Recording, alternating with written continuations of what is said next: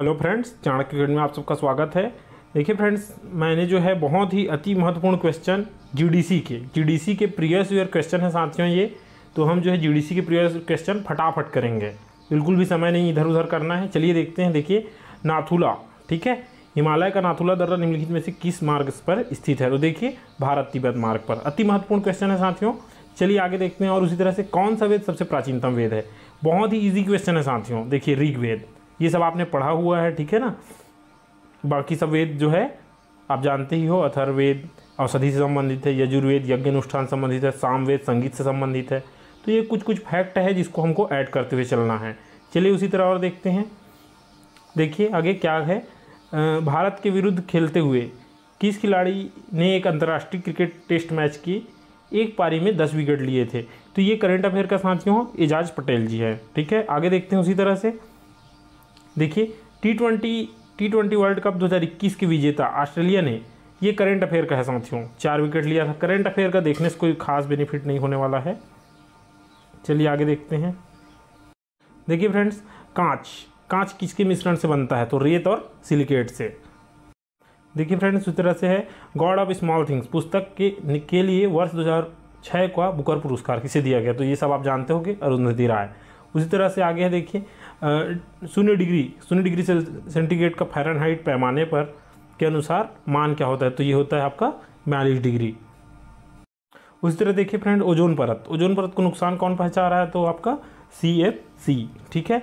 उसी तरह से आगे देखिए आपका है देखिए प्रो, प्रोफेसर अमर्त्य सेन को किस किस क्षेत्र में विश्वव्यापी उपलब्धि के लिए जो है उसको अर्थशास्त्र नोबेल पुरस्कार दिया गया है? तो अर्थशास्त्र के क्षेत्र में अमर्त्य सेन को जो है अर्थशास्त्र के क्षेत्र में नोबेल पुरस्कार दिया गया है। उसी तरह आगे नेक्स्ट क्वेश्चन देखिए करंट अफेयर का साथियों देखिए। वर्ष दो हज़ार इक्कीस का पुरुष एकल विम्बल्डन में चैंपियनशिप का खिताब किसको मिला था? नोवाक जोकोविच। देखिए, एकल जो विम्बल्डन चैंपियनशिप होता है, ठीक है ना?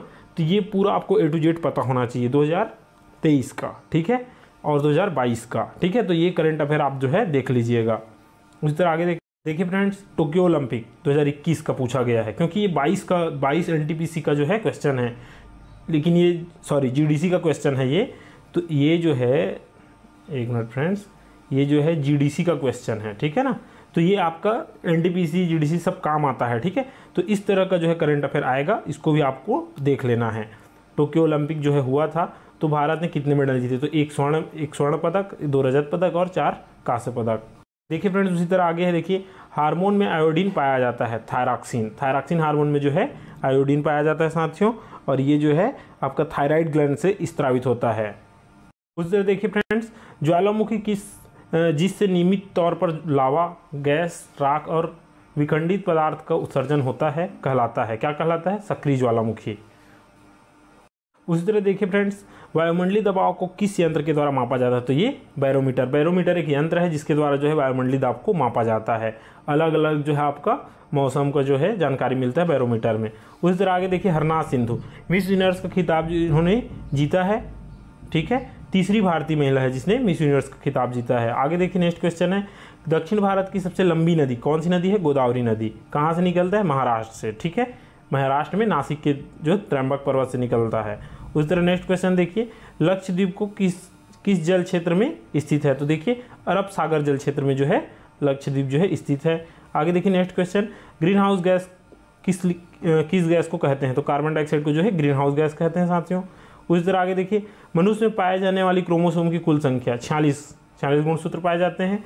उसी तरह देखिए, स्वतंत्र भारत के प्रथम गवर्नर जनरल माउंट एबन देखिए प्रथम गवर्नर जनरल बोले तो माउंट माउंट बेटन, ठीक है? और भारतीय गवर्नर जनरल बोलेंगे तो क्या हो जाएगा? सी राजगोपालाचारी।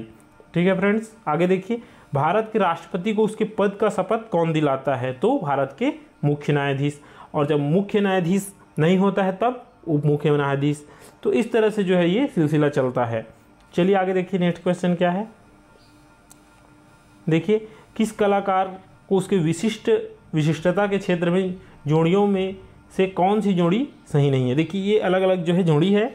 तो यहाँ पर देखिए, जो एम एस सुबुलक्ष्मी है, वो नृत्य से संबंधित नहीं है।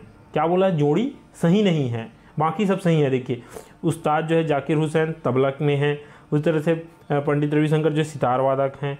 उसी तरह से जो है हरिप्रसाद चौरसिया बाँसुरी बजाते हैं। तो एम एस सुबलक्ष्मी जो है नृत्य संबंधित नहीं है। यही जो है गलत है।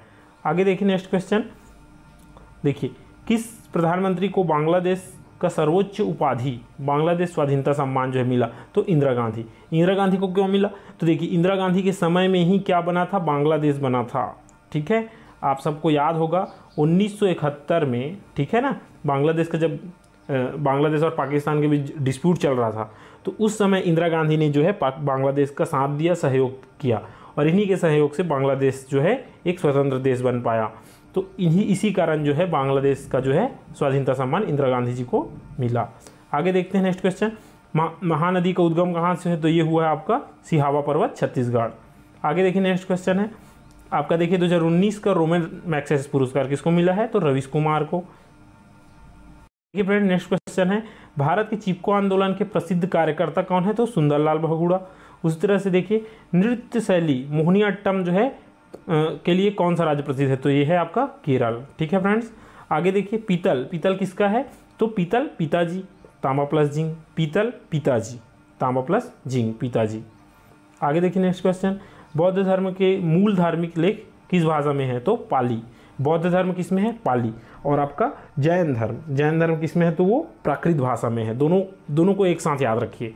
बौद्ध धर्म, पाली और आपका जैन धर्म जो है, प्राकृत भाषा। आगे देखते हैं नेक्स्ट क्वेश्चन देखिए फ्रेंड नेक्स्ट क्वेश्चन है सूरत शहर किस नदी के तट पर है? तो सूरत किसके तट पर है? तापी नदी। याद रखेंगे साथियों सूरत जो है तापी नदी के तट पर है और अहमदाबाद जो है साबरमती नदी के तट पर है। नेक्स्ट क्वेश्चन देखिए तो ये दो मैथ्स का क्वेश्चन है। देखिए फ्रेंड्स ये जो है आपका जीडीसी का जो है जीडीसी जो प्रीवियस ईयर हुआ था, ठीक है ना? उसी का अति महत्वपूर्ण क्वेश्चन है जीडीसी ठीक है ना? एक minute friends G D C E ठीक है जीडीसी का जो है क्वेश्चन था। हम ऐसे ही रेलवे के अति महत्वपूर्ण क्वेश्चन लाते रहेंगे N T P C G D C आपका ग्रुप डी तो आप जो है चैनल को सब्सक्राइब कर लीजिए। हम ऐसे अब जो है क्वेश्चन लाते रहेंगे। मिलते हैं नेक्स्ट वीडियो में। ये क्वेश्चन आपको कैसा लगा? कमेंट करिए। मिलते हैं नेक्स्ट वीडियो में। जय हिंद।